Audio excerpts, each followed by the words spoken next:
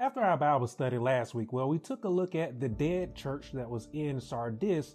We, in our study this week, we're going to take a look at the church that was in Philadelphia, a church that was the total opposite of the church that was in Sardis. We will remember that the church in Sardis, it was dead because it was dead in its works. It was dead in its faith. It was not abiding by the Holy Spirit. And so therefore, because the church in Sardis was not living by the Holy Spirit, not being led by the Holy Spirit, the church in Sardis was not able to bear any fruit that was holy and righteous.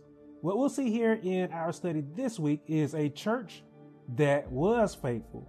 And because it abided by the Spirit, because it was led by the Spirit, we'll see that this church, that it overcame that this church was able to bear fruit that was holy and righteous. So our study this week, it takes place once again there in the third chapter of the book of Revelation. And this week we're going to work our way from the seventh verse down through the 13th verse. And our key verses for our study this week is going to be the seventh and the eighth verse. And again, we are taking a look at the faithful church with a subtopic that will take a look at the reward of faith. There is a reward for you sincerely believing in, for you sincerely being obedient to the word of God, which again, we will see here in our study this week. So our study, it opens up there in the seventh verse there of the third chapter of the book of Revelation with scripture stating, and to the angel of the church in Philadelphia write, these things says he who is holy, he who is true, he who has the key of David, he who opens and no one shuts, and shuts and no one opens. That's quite some greeting that again, this is Jesus that he has for the angel of the church in Philadelphia. Once again, we see where this message is being addressed to another church to the angel of the church, which by this point in time, we know that the angel of the church is representative of the messenger of the church, likely again, the pastor. Let's take a look at this greeting though. This is some greeting that, that Jesus has for the church in Philadelphia. Again, he says, these things says he who is holy, he who is true. Okay. And then he said, he who has the key of David. He is describing himself here, right? Jesus again, the only begotten son of God. We know that he is the Messiah, that he is the Christ. We know this because again, not only is he the only begotten son of God, but he comes through the seed of David as, as Isaiah, the book of Isaiah prophesied along with other prophecies of the Old Testament as well. He has the key of David. That's what Jesus said there. And again, him addressing himself saying that he who is holy, he who is true, and again saying he who has the key of David, it speaks of his authority. It speaks of his sovereignty as well. Him having the key of David, Jesus, he says in the 16th chapter of Matthew's gospel and the 19th verse that, that with the key that he has, he has authority over heaven. And he said that with that key, that he's going to share that key with all of those that sincerely believe, all of those that sincerely trust, are obedient in, in following his instructions. Again, we know that we are supposed to be obedient in loving the Lord with our whole heart, right? And we know that we are also supposed to be obedient in, in that love by loving all of those that are around us as well, loving our neighbors as we love ourselves. You and I, because we have that key, I hope you understand that, that we too have the key to the heavenly kingdom. We have a key to the kingdom of heaven. And so with that key, I want you to understand that, that you and I, we carry a great responsibility. That's not something that I think that we as the children of the Lord understand today is that, that we carry a great responsibility with that key. What do you do with that key? Do you carelessly walk around with that key? Or do you carry that key with a great responsibility? Jesus, he actually wants you to do something with that key. With that key, you and I, we are supposed to minister of the kingdom of heaven. We are supposed to share the kingdom of heaven with all of those that are around us. In the kingdom of heaven, it is open to everyone. And you and I, because we walk by faith, we are led by the Holy Spirit, because we have received the divine truth, we know the divine truth, we are to minister that divine truth with all of those that are around us. Again, let us remember the first works. Our work is again to believe in the one whom the Father has sent. In that faith, in our faith in Christ, Christ, He gave us a commission. And in that commission, Christ, He tasked us to go out into all nations of people, baptizing in the name of the Father, the Son, and the Holy Spirit. That is the sound doctrine. It is supposed to be taught to all people. All the ways that Christ commanded us to go in, we are to minister that to all of those that are around us. Again, we carry around a very great responsibility that I think that many of us as believers, we, we take it lightly. We take it for granted. We, we aren't doing what we are supposed to be doing. And again, when we think about the five churches that we have looked at prior to this study, we saw that that was becoming a major issue for the church that was in Pergamos, that was beginning to compromise itself. We saw that that was a major issue for the church in Thyatira that was corrupted. And again, in our study last week, the church in Sardis, it was dead in works. It was a dead church. But the church in Philadelphia, again, was quite different. Okay. And we'll see that here in a moment. Again, I just want to touch on that, that seventh verse. Again, uh, a key scripture of my study here today, where again, we'll see that Jesus speaking from, from a place of sovereign authority, as we have seen with, with all of the churches that we have studied so far, he said, he who is holy says these things says he who is holy, he who is true. How can that not remind you of, of what Jesus said in the 14th chapter of John's gospel, what is recorded in the sixth verse of that chapter? Where Jesus, in response to a question that had been asked to him about where it was that he was going, Jesus said about himself that he is the way, that he is the truth and the life. Jesus said that no man could go to the Father but by him. Jesus, he is the way to the kingdom of heaven. Again, he has the key and he has shared the key with all of us. The key being the word of God. Jesus said that he is the way. He is the truth as we said in our study last week, that Jesus is the light of the world. He is the bringer. He was the revealer of the divine truth that all of us receive, that all of us live by. So again, Jesus, we should understand there in the seventh verse, in his greeting to the church in Philadelphia, he is saying, he is speaking, I should say, from a place of sovereign authority. Again, he is holy. All right. He, he has no sin within him, right? He is holy. He is righteous. He who is true. That is Jesus. Nobody else. That is Jesus. Now, what is this message that Jesus has for the church in Philadelphia? Now, I do want to point out right away, I, I should have did this at the start, that, that this Philadelphia, this city should not be confused with the city in America. Okay. This is a totally different Philadelphia, but it is also known as the city of brotherly love. So what's the message that Jesus has for, for this church that was in Philadelphia? Let's, let's again take a look there at the eighth verse. There's something else that I'm going to touch on in the seventh verse, but it's also mentioned here in the eighth verse where Jesus, he says there in the eighth verse, Jesus says, I know your works. He commends this church, right?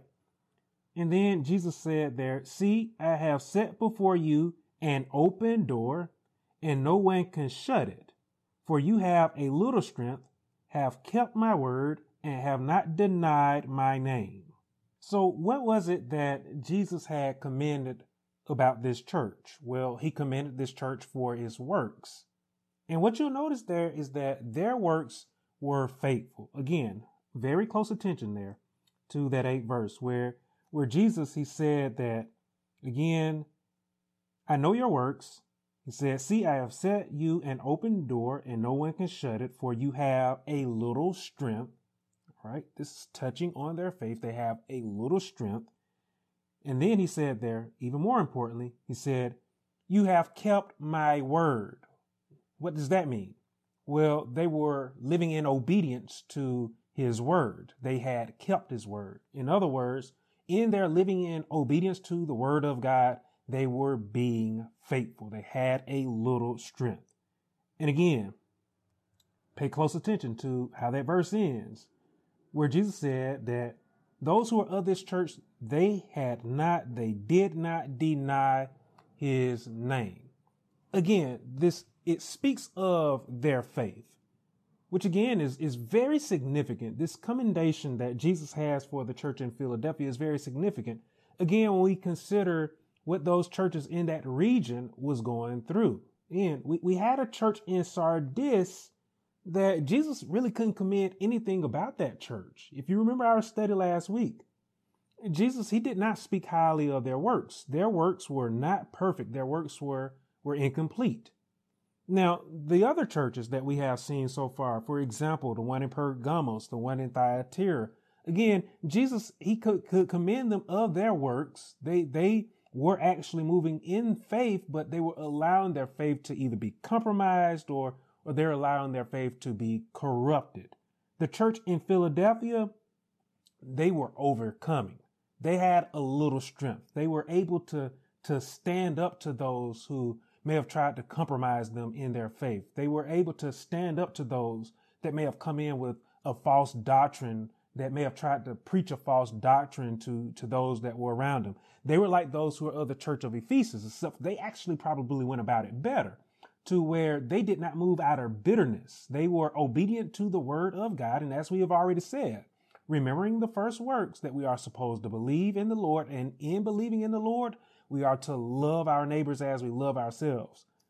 I believe that those who are of the church in Philadelphia, that they moved out of love. They, they, yes, rebuked those that may have come in with a false doctrine, but they didn't do it out of bitterness. They actually rebuked in a manner to where they offered correction, where they showed those who may have come in with a false doctrine. They may have shown them, and I do believe that they showed them the proper way in which they were to go. They live by the word of God. Again, this church the church in Philadelphia is a great deal like the church that was in Smyrna. Though both those churches, the church in Smyrna and the church in Philadelphia, they were commended by the Lord and there was no rebuke. God didn't get on the, church, the church in Smyrna. You recall the church in Smyrna, the persecuted church. The only thing that the Lord said to them, keep doing what you're doing. Keep, keep enduring as you are doing and you will persevere. And here you don't see a rebuke. We won't see a rebuke at all here from the Lord to those who were of the church in Philadelphia. Now, something that I do want to touch on here, and like I said there, it's also referenced in the seventh verse. If we take a look at the seventh verse, again, where Jesus said that he was the one who had the key of David, you will see there that Jesus said that he is the one who opens and no one can shut it. Again, he, he has that power nobody is going to close a door on Jesus, right? He said, He who opens and no one shuts. And he said that he also shuts and no one is able to open. What do you think that he was talking about there? What do you think that Jesus is able to open that nobody else can open? And I already gave you the answer to that, where Jesus said that he is the way, that he is the truth, that he is the life. He said that no one can come to the Father but by him.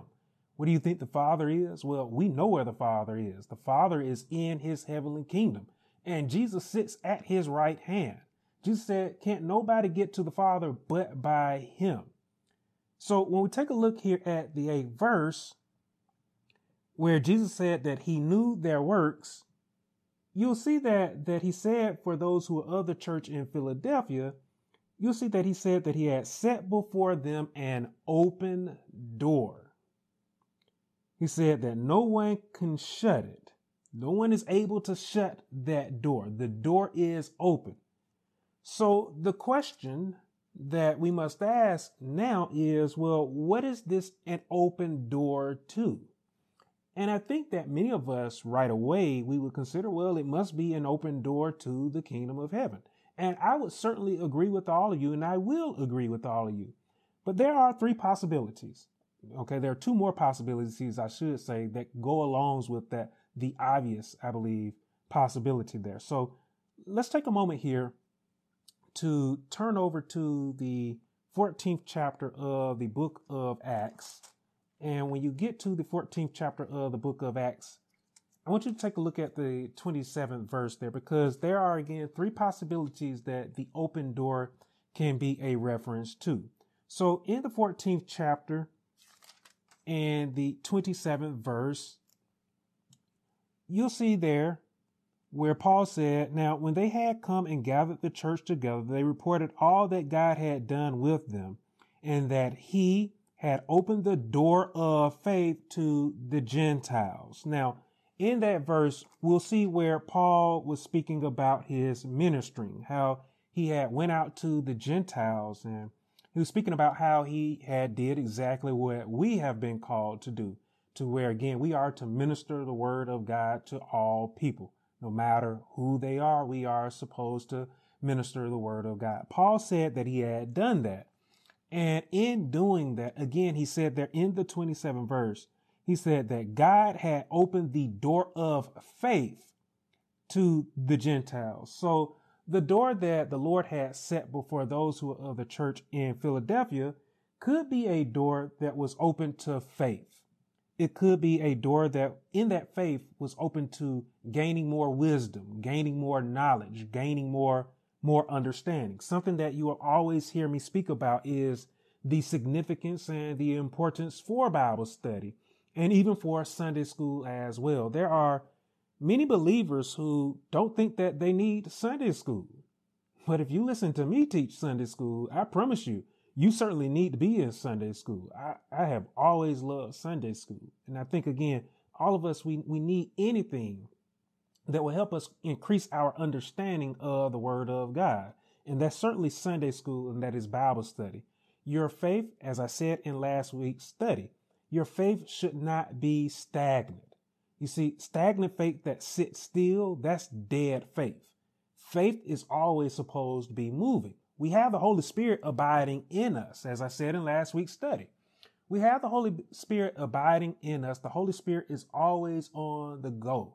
The Holy Spirit is always craving. It is always desiring what is holy and what is righteous. You yourself, as a child of God, you, because the Holy Spirit abides in you, you should crave what is holy and righteous. You should desire what is holy and righteous. In that desire, you and I, we should always seek to be growing. We should always seek to be maturing in our faith, in our wisdom, our knowledge and in our understanding of the word of God. Why is that? Because in growing and in maturing in our understanding of the word of God, we benefit ourselves.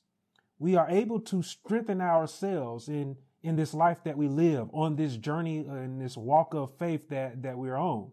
Not only is that a benefit for us, but again, it's a benefit for all of those that are around us. Again, we have a job to do. We have been commissioned with a task directly from Christ to where we are to minister the word of God. We are to help all of those that are around us, not just in physical matters, but in spiritual matters as well. And that is something that, that we as believers, we often overlook. We often miss. We are to minister the word of God. We are to testify of the Lord. We are to share our testimony of what the Lord has done for us. I believe that that door had been set for those who were in the church in Philadelphia as well. And I believe that that they did exactly that. That they ministered the word of God, that they testified of the Lord, that they shared their testimony as well. So that's one possibility for what that door could be a reference to. There is another possibility that that door can be a reference to as well that is spoken of in in Paul's letters to those who are in Corinthian or in Corinth. You can see it in First Corinthians. Uh, you can see it in Second Corinthians as well. I want to turn over here to First Corinthians, the 16th chapter and the ninth verse. And I want to read that scripture out to you so that you can see the door that Paul was speaking about to those who are in uh, to those who are in Corinth where he said there in the eighth verse, he said, But I will tarry in Ephesus until Pentecost. And then in the ninth verse, the one that I want to focus on there, he said, For a great and effective door has opened to me, again, not a door that was opened, that he opened on his own or that somebody else had opened to him. It was a door that had been opened to him by the Lord. He said that there was an effective door that had been opened to him, and there are many adversaries. He was tearing in Ephesus because he had an opportunity to do good. Okay, he had an opportunity to again minister the word of God. In Second Corinthians, when we turn over to Second Corinthians and we take a look at the second chapter there and the 12th verse, again, we'll see Paul, he wrote and he said, Furthermore, when I came to Troas to preach Christ's gospel, and again, he said, a door was opened to me by the Lord. All right. And you can go ahead and if you want to, you can finish reading the rest of that passage of scripture there. But I wanted to take that verse specifically because Paul was looking at the open door as again a pathway of opportunities. So a door can open to you to be a pathway to you have an opportunity to receive a blessing, right? There, there are always doors opening that can be a door that you should walk through if you desire to take possession of a blessing that the Lord has for you. At the same time, the Lord will open doors for you to be the blessing to someone else. Did you hear what I said there? I hope you understood exactly what I said there. Yes, there are again times where doors will open to you to where you will have an opportunity to take possession of a blessing that the Lord has for you. And every time that those doors open, you should go through those doors. Then again, at the same time, there are times where doors will open to you to be the blessing, as Paul spoke of in, in his letter to the Corinthians. Okay. There are times where you are meant to walk through the door and to be the blessing to somebody somewhere. And as often as you have the opportunity to do it, as Paul said in his letter to the Galatians, you should not grow weary in doing good. You should take advantage of every opportunity every time that the Lord opens a door for you, you should walk through the doors. But sadly, again, many of us, we, we don't do that. We, there are a lot of times where the Lord, He opens a door for us and He tells us the blessing is on the other side of that door. All we have to do is walk through the door.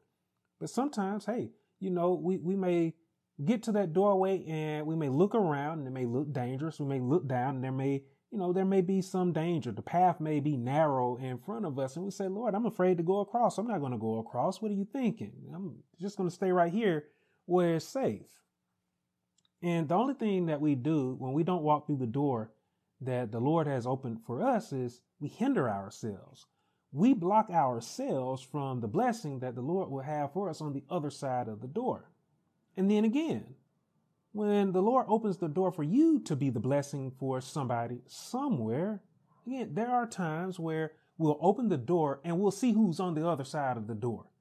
And it may be Joe, who we don't like. It may be Amy, who, who we don't like.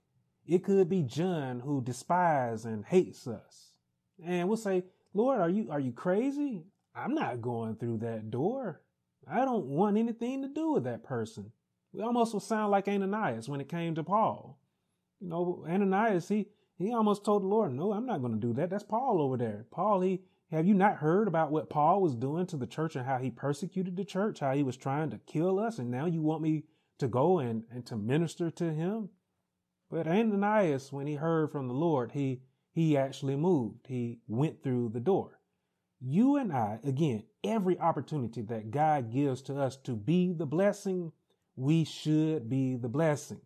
We must again heed the Spirit, be led by the Spirit, walk by faith, be the blessing. And I tell you, when you walk by faith, there is always a great reward for you. That is again something that we must do. Walk by faith. Now, again, to go back over to the third chapter of the book of Revelation there, I've spoken about, I've spoken in great detail about what the door, the open door that was set before those who were in the church in Philadelphia, what, what it could be. But we had already touched on another possibility, right?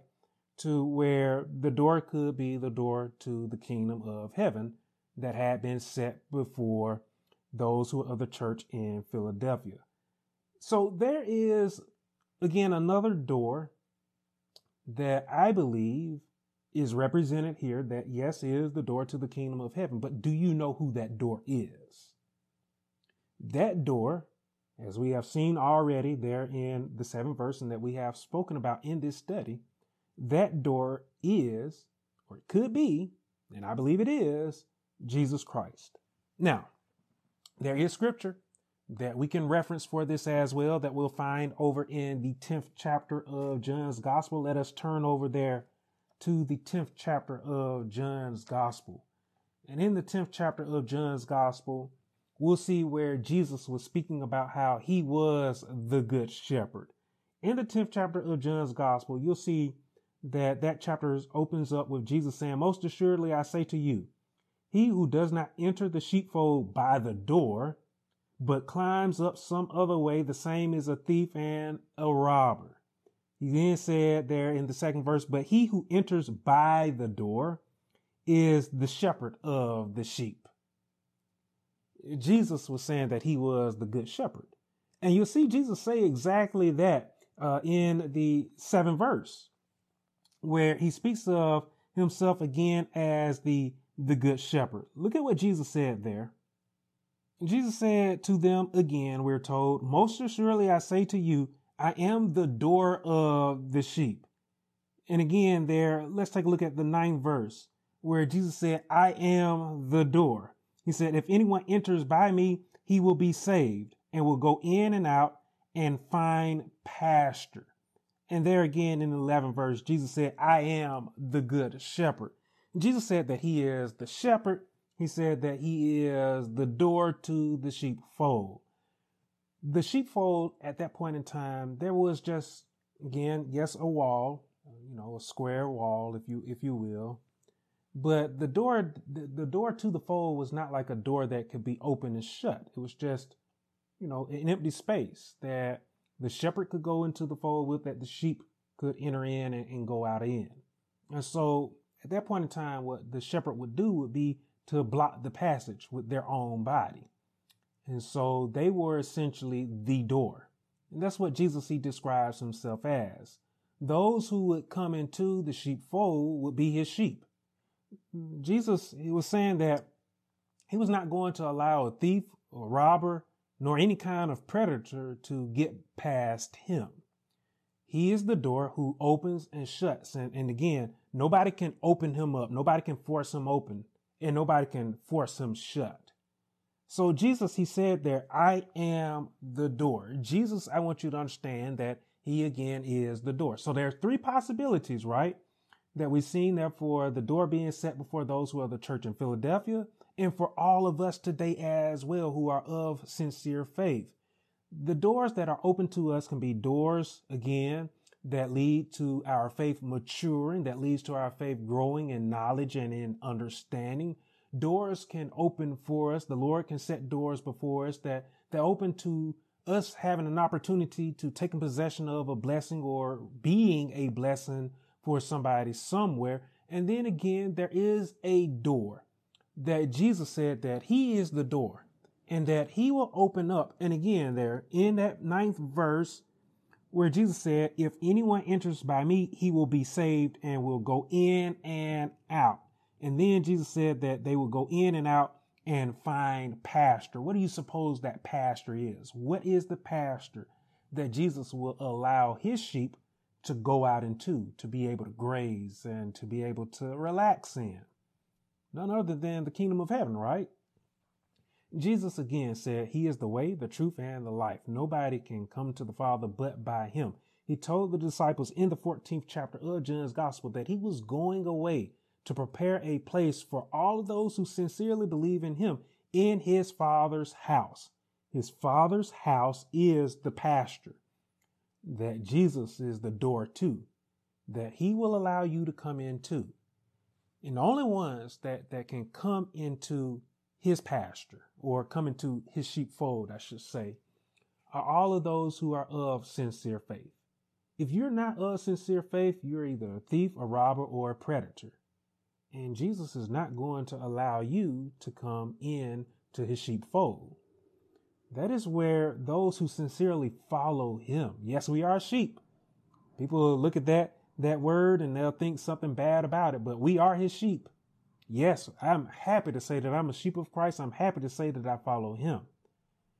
Christ is not going to let any harm come upon his sheep. He is again the door. Again, that door that was set before those who are of the church in Philadelphia is a wonderful door.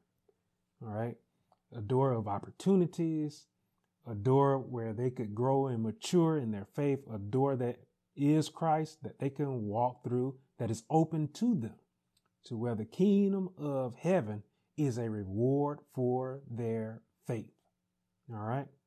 Now, let's tackle our other scripture here. Let's let's take a look here at the ninth verse, where there in the ninth verse, Jesus he said, Indeed, I will make those of the synagogue of Satan who say they are Jews and are not, but lie. Indeed, I will make them come and worship before your feet, and to know that I have loved you. Now, those who were of the synagogue of Satan that were saying that they were Jews or not, Jesus said to those who are the church in uh, Smyrna, he knew their blasphemy, which meant that they were supposed to be living obediently by faith, living according to God's instructions. But they were of the synagogue of Satan, which which means that they certainly weren't abiding by the word of God. And so because they were not abiding by the word of God, they ended up persecuting those who were in the church in Smyrna. They were afflicting those who were in the church in Smyrna.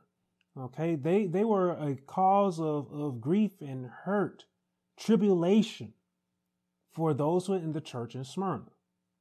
Let us remember again that to the church in Smyrna, Jesus had encouraged them to endure, persevere, continue to be faithful. Now, those who are in the church of Philadelphia, they, I want you to understand, likely faced the same thing. There's a reason why we see Jesus make that reference there. Okay. There's a reason why we see Jesus mention the Jews who weren't Jews, but they lied, again, blasphemed. They were blasphemers. Okay. They were of the synagogue of Satan. And the reason why Jesus makes a mention of that is because those who are in the church in Philadelphia, they likely underwent the same thing where they faced persecution. They, they faced those who, who despised them and would afflict them. They, they faced tribulation. But in facing their persecutors, those who caused great suffering for them, they overcame. Now, how did they overcome? How did they overcome those who were persecuting them? The only way that we can overcome those who persecute us, the only way that we can overcome tribulation is by faith. Again, living according to the word of God, being led by the Holy Spirit and walking in the Spirit. When we walk in the Spirit, as Paul said, we are able to produce the fruits that are holy and righteous. Those who are the church in Philadelphia, they were persevering. They were enduring. They were overcoming. Again, they were doing this not by their own strength, not by their own might. They were walking by faith. Incredibly important for us to understand because again, yes, we face much tribulation in the world today by those who, who don't like it that we walk by faith. They, they do their best to, to hinder us in our walk. And again, how do we overcome?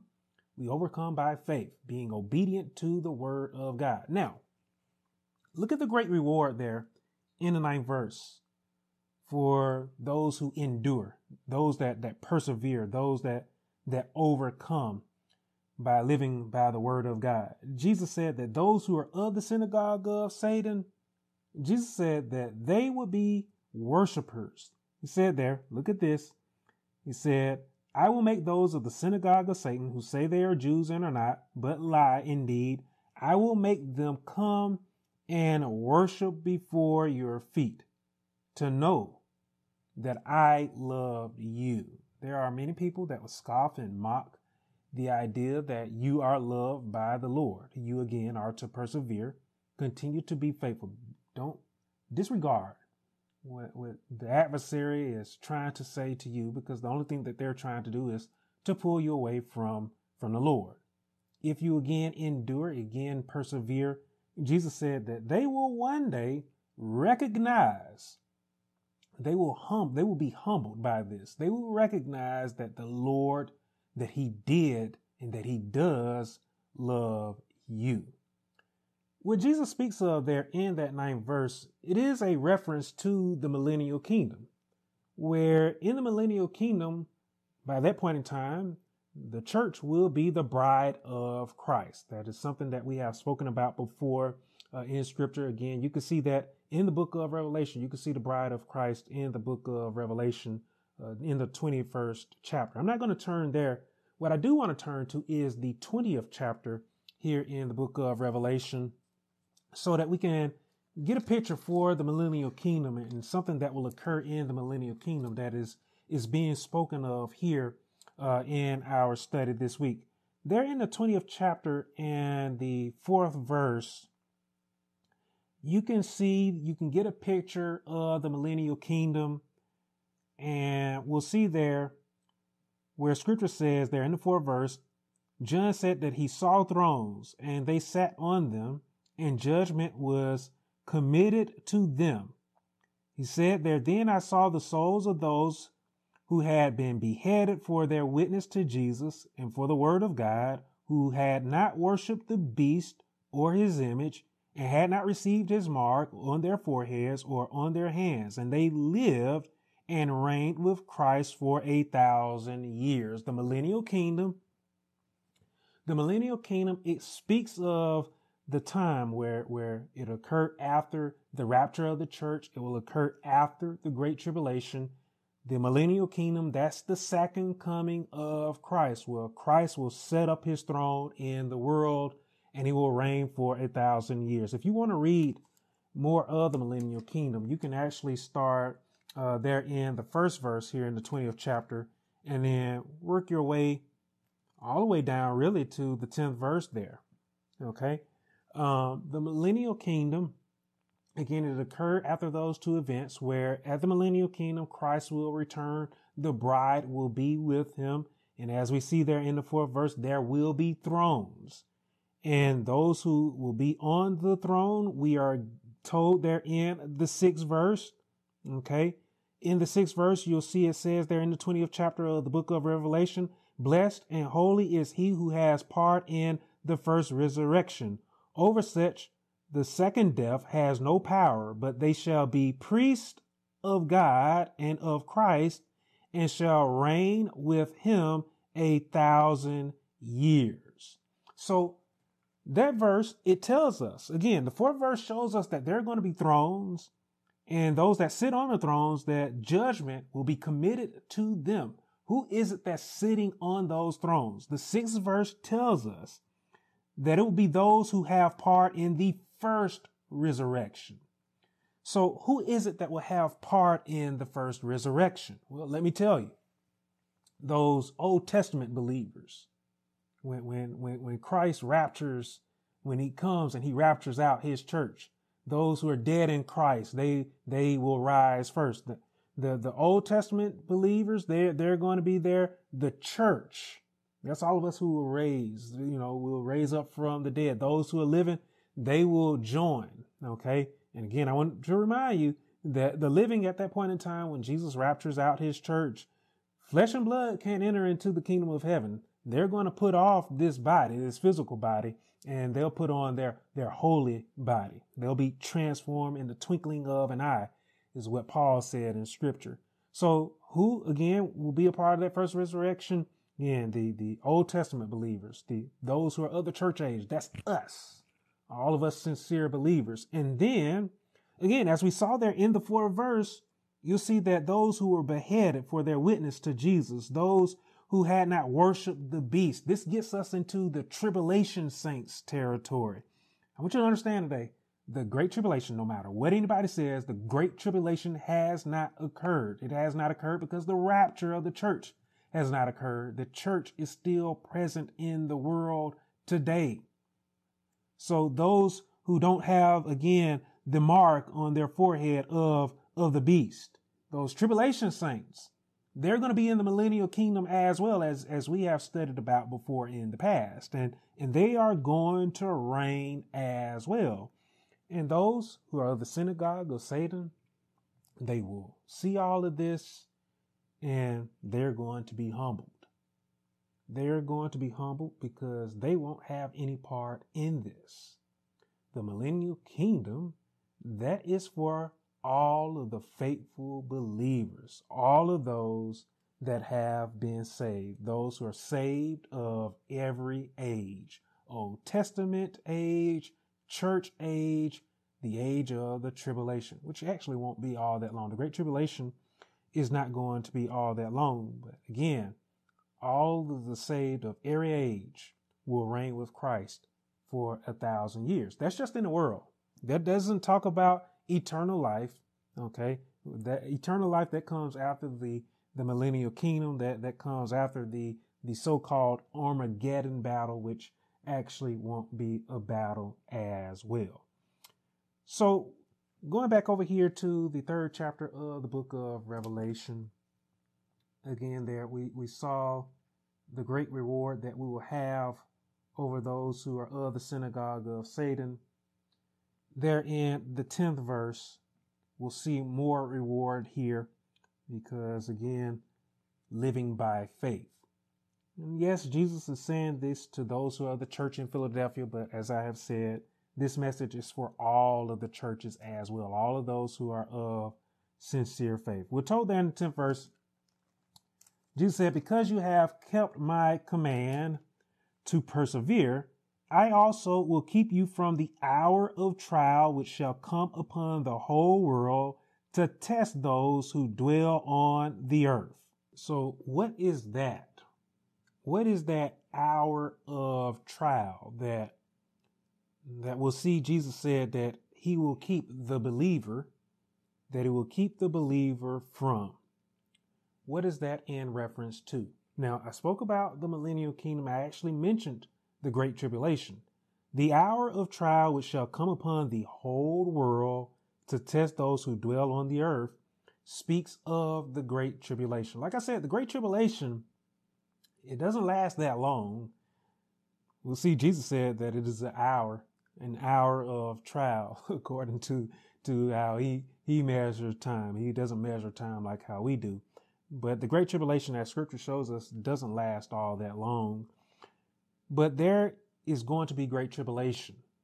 And those who who go through that period of time will be those who did not believe in Christ during the age of the church. The great tribulation, it follows the rapture of the church all those who are of sincere faith will not go under. They will not face the great tribulation. We're going to be called out of the world. And when we are called out of the world, when the church, those, all of those who are of sincere faith, are called out of the world, it is going to give way to a period of great suffering in the world. And during that time period, scripture speaks about how the man of sin will be revealed. Over in First Thessalonians, let's let's turn over there real quick. I like to try to show you all as much scripture as I possibly can because I don't want anybody to think that that I'm making anything up. We we're dealing with sound doctrine. So let's turn over to First Thessalonians.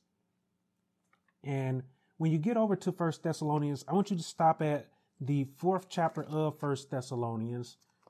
And there in the fourth chapter, we're going to take a look at uh, the 15th through the 17th verse, where we'll see there in the 15th through the 17th verse, where scripture speaks of how the Lord himself will descend from heaven with a shout, with the voice of an archangel, with the trumpet of God. And we're told that the dead in Christ will rise first.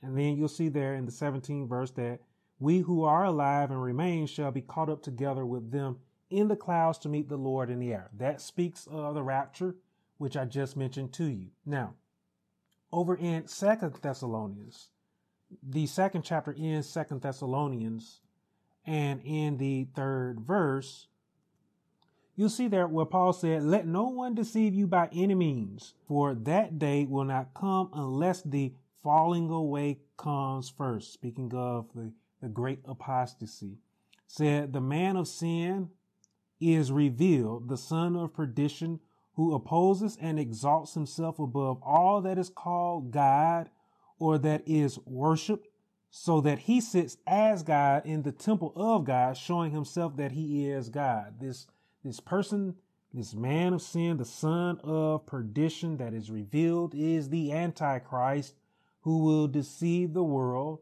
during the days of the great tribulation. So there's going to be the rapture. There's going to be the great tribulation where there's going to be great suffering. There's going to be a great deception that is led by the Antichrist who will fool, who will trick, who will deceive many into believing that, that he is God and many will actually worship him. All right. But again, I want to remind you that, that you who are of faith, all of us who are of faith, we're not going to ever see the person that is the Antichrist. Now, yes, there are many living in the world today who has the spirit of Antichrist as, as John spoke of in his first epistle. But again, you and I, through our sincere faith in the Lord, we have power we have power over them. Don't be don't be afraid of them. Don't don't be deceived by them as well. You have authority, you have power over them through your faith in the Lord. You will overcome all of your adversaries, all of your obstacles as well. Now, again, I want to show you one more verse here uh, in the 24th chapter of Matthew's Gospel, where Jesus he speaks of again how great the tribulation will be. There's a warning there in the 24th chapter of Matthew's gospel. When you get to the 24th chapter of Matthew, go down to the 19th verse.